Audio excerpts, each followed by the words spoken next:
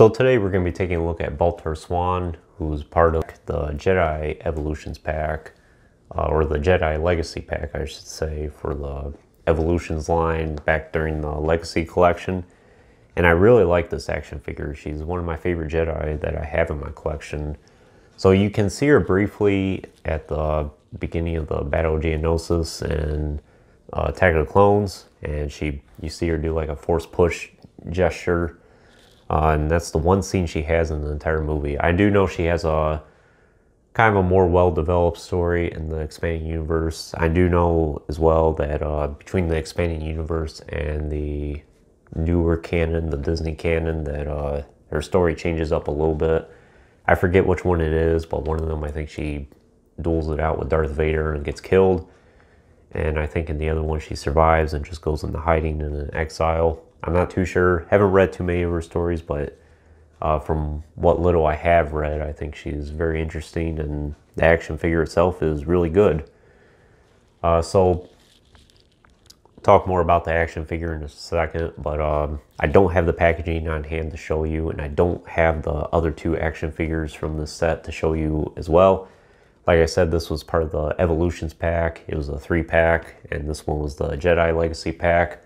So she came with uh, Qui-Gon from the Phantom Menace, who's, it's just the same exact Qui-Gon, I think, from the Vintage Collection and the mail away exclusive Qui-Gon with the Eopie. Uh, it's not a very good action figure. It doesn't hold up very well to today's standards, and it doesn't really look like Liam Neeson at all. And then we also have a Jedi Master Luke, which is based off the New Jedi Order book series, I think. Uh, it is a expanding universe Luke post Return of the Jedi. And that one's a alright action figure as well. It's not a high priority. Maybe if I found it for a good price, I would get it. Uh, but we got so many Lukes at this point, and there's so many Lukes out there that, quite frankly, probably are better than that one now. That uh, it's just not one I'm going to hunt down actively. Uh, but it's an alright action figure for what it is. So Bultar Swan is really the only unique one out of the bunch, and it's a great action figure.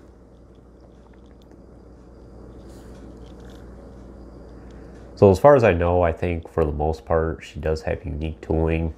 Uh, there's something very unique about her that I haven't seen at any of the other women Jedi Knights before.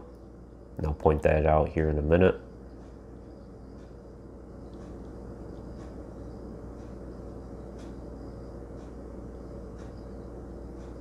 A lot of nice detailing in her robes here.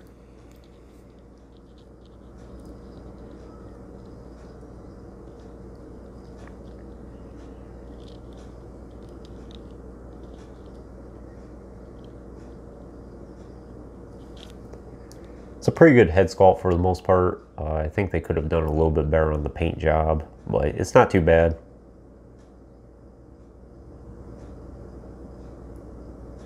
But the hair sculpt and the face sculpt, I think they did a good job on.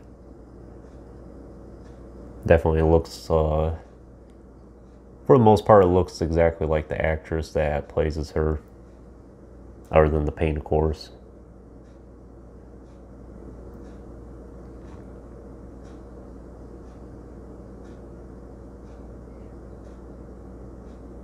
So in terms of the articulation, she does have a ball joint neck there pretty good range of motion.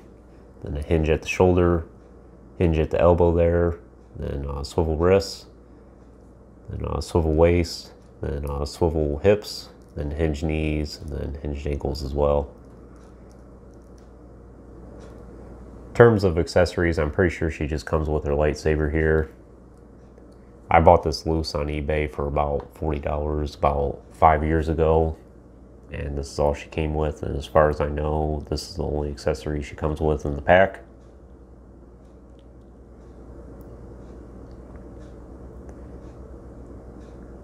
Not sure if this hilt is totally unique to her. It doesn't really look like it.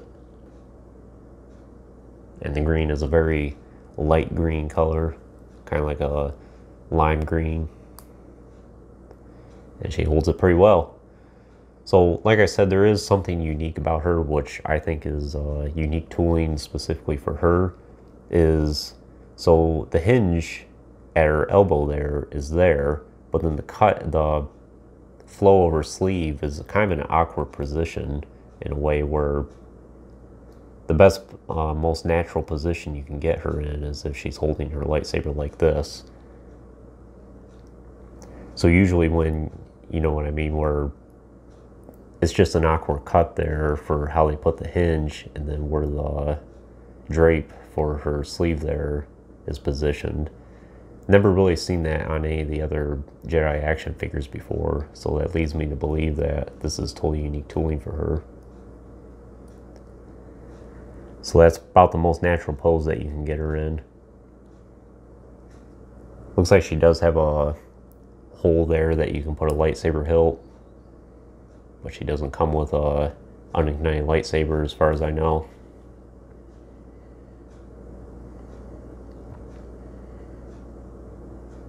Very nice detailing in the boots there as well.